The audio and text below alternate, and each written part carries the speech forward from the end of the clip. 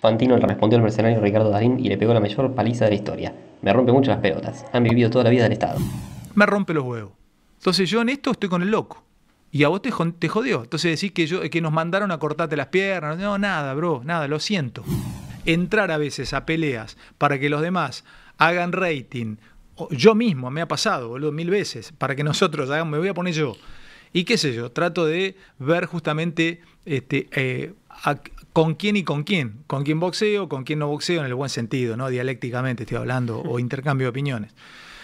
Entonces, en este caso, este, fui a ver lo que había respondido Darín, fui a ver la respuesta de Darín. Vamos a la discusión, el barro. Vos te metiste en el barro de la política argentina. Vos hiciste política en Argentina. Vos sos de los que hace política en Argentina y quiere salir limpio haciendo política en Argentina. Y en Argentina los que hacen política, diciendo, opinando, lamentablemente estamos todos en este barro y acá estamos todos juntos. Y sé que cuando digo algo, tiene un alto componente político y me como y me, banco la que venga. Ataques, operaciones, eh, agresiones, difamaciones, es parte del juego. Entonces cuando yo veo tu respuesta, Ricardo, no puedo eh, no, no entender que ahí me llevas no solamente a mí, sino a Neura, al medio, y a mis compañeros de laburo, que me mira Agustín, porque esto lo hablé con Agustín, eh, a hacer o, instalar la idea de que lo que nosotros decimos, porque voy a hablar en primera de plural, lo que nosotros decimos, generalmente coincidimos todos acá, es porque nos mandan a decir. Entonces vos me pones en un lugar muy incómodo, Richard, a mis compañeros, a mí, a mi medio. Es un lugar de mierda, te diría, es un lugar bastante eh, feo. Ahora, bro, te voy a decir una cosa y te digo esto honestamente. Si vos resulta que lo que decís vos es a título personal tuyo. No te lo mandan a decir. Yo podría decir que lo que grabaste del spot del Inca te lo mandó a hacer tu hermana. Y yo no creo eso, Ricardo, de vos. Yo creo que lo grabaste porque lo sentís. Como yo siento, Ricardo, que estoy en las antípodas de tu pensamiento con respecto a la financiación del cine. Darín habla por eh, que él lo siente y los demás, si no opinan como él, son mandados a hablar y a cortarle las piernas a un tipo. No es así, hermano. No es así, no coincidimos. Simplemente no coincidimos. Y no, no coincidimos, además, lo que sí me molesta es esa justificación que yo creo que es estúpida de pensar que Argentina, eh, eh, entre lo más importante de por ser conocida es el cine. Está en vos, hermano, porque si vos le pusiste eh, em, audio, le pusiste off a un spot donde a un tipo como eh, Guillermo Franchella, que es otro monstruo sagrado de nuestra este, cultura nacional, aparece de refilón y todos los actores kirchneristas habidos y por haber. Es más, aparece este, Grandinetti y dicen, en Argentina tenemos papa, en vez de Francisco aparece Grandinetti como papa. Si vos apareces 17 veces en ese spot si aparecen todo actor kirchnerista habido y por haber, y no tengo nada contra el kirchnerismo, simplemente te digo, yo, Alejandro Fantino, soy Ricardo Darín y me dan a grabar ese spot, yo miro y digo, no, pará, ¿Franchera lo pone en esto? ¿Nada más? No, pará, no podemos hacer esto. Yo no lo grabo. Yo no lo grabo. Ricardo Darín se sumó a las críticas por los recortes en el Inca y pidió unirse a la marcha de hoy. No podemos permitir que el odio nos destruya. Richard, hermano mío, vos jugás al. Vos, vos vas a trabar con las dos piernas también, ¿eh? No entiendo. El spot de los actores, eh, todos esos actores que, que, hicieron el, Inca, básicamente, apoyaron abiertamente a Massa. Y no está mal, boludo. No está mal que hayan apoyado abiertamente a Massa. Pero entonces, Ricardo, ¡prum! Sacarse la careta. Listo. Vos eh, eh, no, ves bien este gobierno, te parece que este gobierno, etcétera, etcétera. Pero hay que decirlo, papá. Porque resulta que vos lo decís a título personal y todos los demás lo decimos y somos este, sicario de un gobierno. A mí me chupa un huevo lo, que haga el gobierno, mi ley y toda su gente. Las cosas que me gusten las voy a decir y las cosas que no me gusten las voy a decir.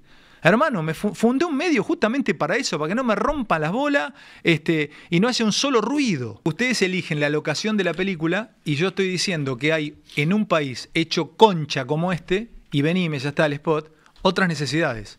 Eso fue solo lo que dije, Ricardo. Que me parece que hay hoy, en un momento como este, en donde cada uno de los que nos está escuchando tiene una necesidad. Todos. Todos están poniendo los huevos arriba de la mesa, Richard, todos. La clase media, los obreros, los jubilados, eh, los pibes, los jóvenes, todo. Entonces digo, si todos están haciendo un esfuerzo, digo, no hay prioridades, eso fue. Y si vos decís, pones el odio, el likeás, le das voz a un, a un, a un, a un, a un spot absolutamente antigobierno, para que si el gobierno que estuviese fuese de otro tinte, de otro corte, no estuviese mi ley, hubiese un gobierno peronista o radical, y esto por favor no lo corten, edítenlo, si hubiese un, un gobierno peronista o radical que tomara estas mismas medidas, las banco igual, porque no hay plata, hermano. Y lo que hay hay que gastarlo en lo que realmente vale y lo que realmente se necesita. No hay guita, Richard, para grabar hoy, viste, hacer Plutón Fiat 600, viste, y, vender estampilla falsa en una película, eh, 300.000 cartas, después son 50. No hay plata, Richard. No hay plata para la prensa, no hay plata para los grandes medios, para los cortitos, para los chiquititos, no hay plata para nadie. No hay plata, lamentablemente, mira, ni para los viejos hay plata que son lo más sagrado que tenemos. Te pido disculpas, si te ofendí con algo, lo de tu auto, etcétera, ya pasó, eso, eso, eso pasó, esa fue una cosa mía personal que me traiciona a veces mi cosa tana y se me va. Te pido disculpas. Debería haber sido aclarado entre nosotros con una llamada de teléfono, haberte dicho, che, mira, no me. Listo. Ahora, lo otro no, ¿eh? Lo otro te acelero. Si vos me tirás un fosforito, yo te tiro una cáscara, una cáscara de, este, no sé cuántos patitos son la cáscara, la caja de foto. ¿No? ¿Cuánto? 222. 222 patitos. si me tirás una caja de 222 patitos, con este tema que yo te estoy diciendo, te tiro un dragón. Me tirás un dragón, te tiro Jurassic Park. Porque estoy convencido de lo que digo. Mira, me acuerdo una cuando le pegaste a Cristina, dijiste que no podías explicar la fortuna de los Kirchner que te cosieron por todos lados, te rompieron en pedazos, salió tu hermana a decir en una declaración que Cristina y vos pensaban igual. Que no entendía cómo se peleaban porque Cristina y vos pensaban igual. Está, búsquenlo, googleen. Nada, hermano, yo de nuevo cierro con esto. Si te dije algo que te ofendió, te pido disculpas, pero con esto otro que dije, te doblo la apuesta una, dos, cien, cien millones de veces. Cien millones de veces. Y no digas más eso sí te lo voy a pedir, no digas más, que nos mandan a decir, porque eh, a mí me rompe mucho los huevos que me digan que me mandan a decir. Para mí no me manda a decir nada a nadie. Ni mi ley, ni yo soy mi propio dueño acá. Nadie me manda a decir. El día que tenga que decir cosas que no me gustan, ya las dije y las voy a seguir diciendo. No me gustan, hermano. Lo que pasa es que lo que está haciendo este loco, mucho más me gusta de lo que no me gusta mucho más me gusta. Es la primera vez que alguien tiene los huevos un toro Shorton para desfinanciarlos a ustedes, que han vivido toda la vida del Estado. Y la verdad, hermano, yo cuando veo a Sauce Viejo y veo que los Aguirre siguen comiendo guiso de, este, de mondongo este, una vez por semana, y veo que ustedes graban eh, la cabra que se convirtió en oro al amanecer, me rompe los huevos. Entonces yo en esto estoy con el loco. Y a vos te, jodió. Entonces decís que, yo, que nos mandaron a cortarte las piernas. No, nada, bro, nada, lo siento. El conductor de Nebra se hizo eco de los dichos del actor que intenta defender sus privilegios que fueron incuestionables durante muchísimo tiempo. Por más que sea un hombre importante en el mundo de la cultura, no deja de tener las mismas opiniones que por ejemplo Pablo Echarri, que se creen por encima del resto de los mortales y que los más pobres tienen que financiar la joda.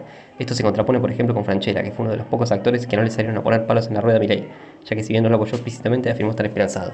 Y su mejor ejemplo es que no necesita del Estado para realizar proyectos exitosos en el ámbito privado.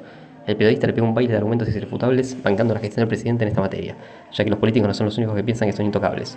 Una vez más, se da en la práctica el famoso principio de revelación que el economista libertario estuvo enseñando durante los últimos años, donde las personas que parecían estar en cierta vereda, de repente se le caen las caretas cuando les tocan el bolsillo de la plata ajena y se tienen que hacer valer por el mercado.